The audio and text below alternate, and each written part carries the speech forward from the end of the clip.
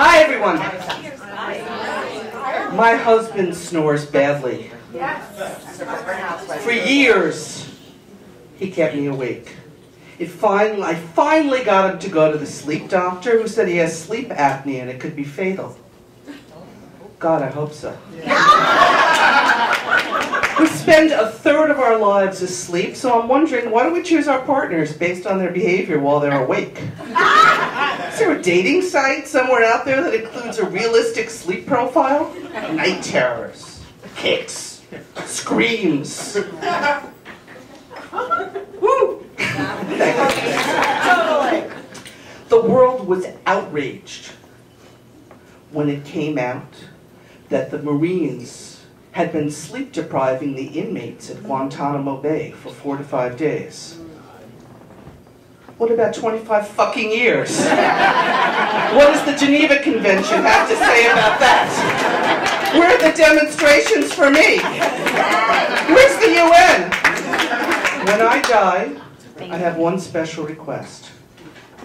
That my husband be buried on his side.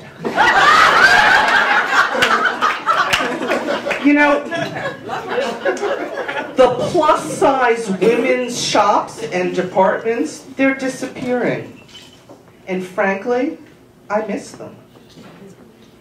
I mean, the salespeople there, they were the only ones who understood my struggle to take off the weight after the baby was born 240 months ago.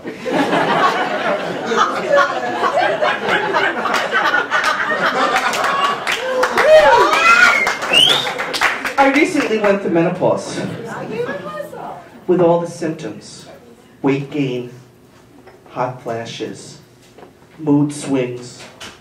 It was fabulous. My whole life, people had been telling me I looked like my father, and I could see that it was true once I started growing a beard. I save so much time now. Every time I call for sneeze, I save a trip to the bathroom. I'm sorry, Mom. I promised her I'd keep the act dry. And I loved some of the physical changes, like insomnia. Staying up all night gave me so much more time to nag and complain. I'm impossible now. I mean, there's no doubt anymore who's in charge of the remote control. And everyone says how relaxed I look. Of course I'm relaxed. I don't have to worry about carrying around 300,000 eggs. and choosing a political candidate has gotten very easy. And I think Bernie Sanders is the only one who really understands people like me. I mean, he is the only one offering underwear in my size. I have been so moved by the experience of menopause that I've written a song about it. Estrogen, you've left, and now there's hair growing on my chin. Now my mornings with a shave begin. Oh, it ain't nice, the state I'm in. Suddenly, it's like I've had a lobotomy. There's no more cold, but only hot of me. And there is quite a lot of me. Once I had a waist and a figure that was sweet.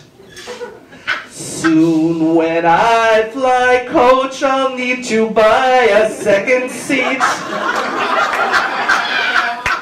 People stare. Do they know I'm losing pubic hair? Or that there's dribble in my underwear? I'm trying hard not to despair. Mm-hmm.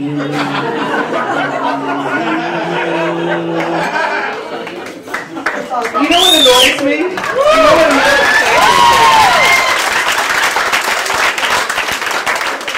What really annoys me, everyone seems to know that cameras add 10 pounds, but no one seems to know that standing up here and performing live adds 40. Thank you very much.